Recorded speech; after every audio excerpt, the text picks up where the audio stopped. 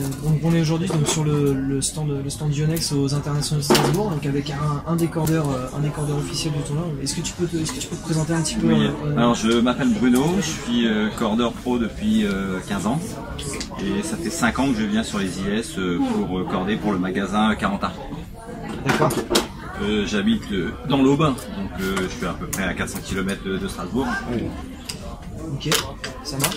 Et donc euh, du coup là sur une journée de tournoi normale, en moyenne, euh, le nombre de raquettes euh, que tu as accordé, ça va être En moyenne, euh, à deux, on fait entre 30 et 40 raquettes 30 et 40 par jour, par jour à peu près. Et plus les jours avancent, moins il y a de joueuses Forcément. et évidemment on a moins de travail sur la fin de tournoi. Ok. Justement justement au niveau des joueuses en, ter- en termes de tension, euh, si tu avais des, des tensions, des moyennes de tension à peu près que, que des joueuses te demandent. Alors les- là les deux extrêmes qu'on a au niveau tension, la plus haute est à 26 kg D'accord. et la plus basse est à 21. D'accord. Ok, donc en Sur moyenne. les deux euh, extrêmes, voilà, de entre 21 et, et 26.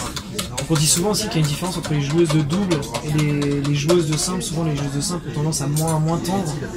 Alors euh, ça dépend, c'est surtout la, la différence au niveau des raquettes. Les raquettes sont équilibrées différemment quand on joue en double que quand on joue en simple. Après les tensions ça varie en fonction des joueuses et de leur style de jeu. d'accord. Ok.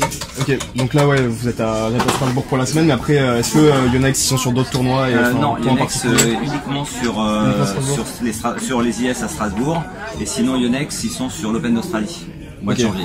Ok. Moi je suis cordeur pour Yonex et pour 40 sur les IS, mais je travaille avec la société Ed, avec la société Babola, je, je travaille avec différentes marques.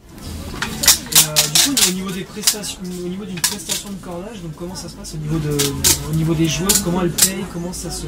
Alors, les- en règle générale, euh, les filles payent euh, en fin de tournoi. Quand elles perdent, c'est retiré de leur price money. D'accord. Et nous, à la fin de tournoi, on est en relation avec euh, la direction du tournoi. Et en fin de tournoi, le tournoi nous paye euh, toutes les pauses des joueuses. D'accord. Une, une pause à peu près, c'est. Alors, sur le tournoi des IS, euh, c'est à 250 000 dollars, donc la pause est à 17 euros. D'accord. Ok. Euh, la dernière du coup. ouais, donc, euh, Du coup, oui, vu que ça fait quand même un moment que tu es sur, euh, sur le tournoi et même en dehors de ça, j'imagine que tu as sûrement des anecdotes ou des, des, oui, des moments un peu. Ouais. euh, Alors il y a, j'ai cordé depuis, je corde depuis 15 ans à peu près, et j'ai eu les deux extrêmes au niveau des tensions, la plus basse et la plus haute. La plus haute est à 39 kg. C'était à Roland Garros en 2004, c'était une joueuse russe, Ouais. et la plus basse c'est 9 kg. Et là c'était à Monte Carlo, c'était avec euh, l'italien Volandri. D'accord. Les deux extrêmes, Ok. 9 et 39, donc 30 kg d'écart, c'est énorme. Ok, ça marche. Bah écoute, ça me paraît pas mal. Ouais, super.